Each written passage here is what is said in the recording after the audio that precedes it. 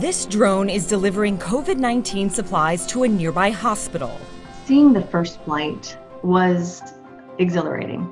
The drones will carry about four pounds of personal protective equipment and fly up to 30 miles round trip. Airspace is clear. Previously, the FAA only allowed drone deliveries within two miles. To be standing in one of our major hospitals and see a drone drop exactly where it was planned to drop PPE and watching our public safety officer pick it up and carry it in, that was very satisfying. Novant Health is a network of 700 locations, including 15 hospitals. During the pandemic, the group is rethinking how to distribute medical supplies. Everyone here has heard about the PPE challenges. We're fortunate in that we have a good supply, but one of the things we'd like to do is be able to deploy that PPE when it's needed in a more surgical fashion. We can do that through drone based delivery. To make drone deliveries a reality, Novant partnered with Zipline, a California drone delivery company that's been operating in Africa for years. We operate serving about 25 million people in East and West Africa. We deliver 160 different medical products to hospitals and health facilities on demand using drones. Today, Zipline delivers around 75% of the national blood supply of Rwanda. We've been working with Zipline for over a year, putting our toe in the water related to drone based delivery of PPE, clinical supplies, etc.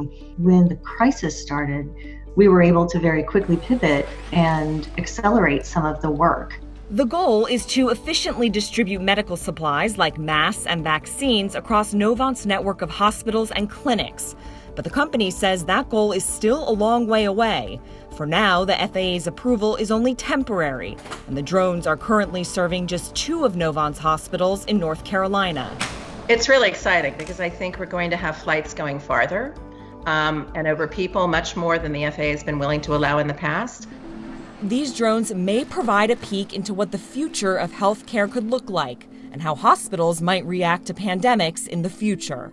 Once I think the FAA sees that this can be done safely, can be done without any incident, without any harm to people or property on the ground, I think they're going to be more willing to open up other types of, of delivery.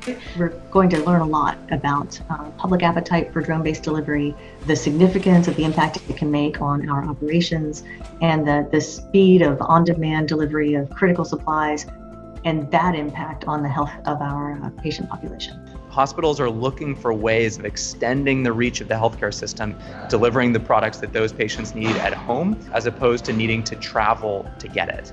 So, this is one really big way that autonomous delivery can be incredibly helpful in this time.